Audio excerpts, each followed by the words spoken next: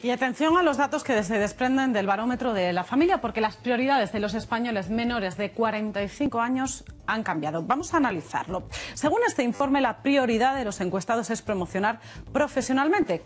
Eso lo dice más del 90%. Después, viajar y conocer culturas. También ampliar los estudios y ya en cuarta posición, lo vamos a ver, tener hijos.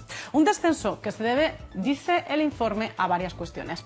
Para la mayoría de los menores de 45 años, los factores que influyen a la hora de tener un hijo son el apoyo de la pareja, la estabilidad laboral, el tiempo de dedicación a los hijos y los recursos económicos. Y entre las preocupaciones de las familias, atención, las salas de apuestas. El 93% pide medidas legales urgentes que protejan a los menores. Consideran más del 90% de los encuestados que los menores acceden con facilidad y que la regulación es escasa y demasiada permisiva. Las prioridades de ahora entre los españoles menores de 45 años no son como las de antes, y formar una familia ni siquiera está entre las tres primeras. Según una encuesta de la Fundación de Family Watch, a día de hoy es la cuarta preferencia. A gente ahora le gusta muchísimo viajar, conocer mundo, eh, dedicarse a su pareja y que también está bien. Pienso en la persona que vaya a venir a este mundo antes que en mí. Me parece muy egoísta que la gente tenga hijos en, el, en la situación en la que estamos viviendo.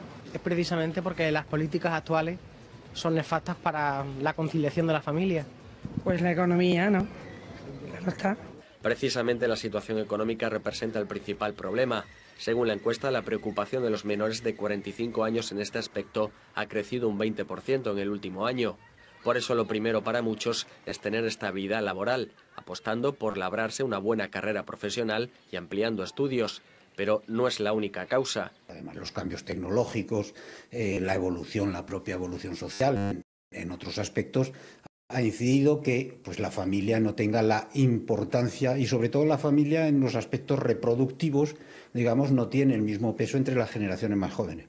El barómetro también aborda otras cuestiones relacionadas con la familia, como la preocupación por la relación entre menores y juegos de azar. Así, el 93% de las familias españolas pide medidas legales que protejan a los menores de la proliferación de casas de apuestas.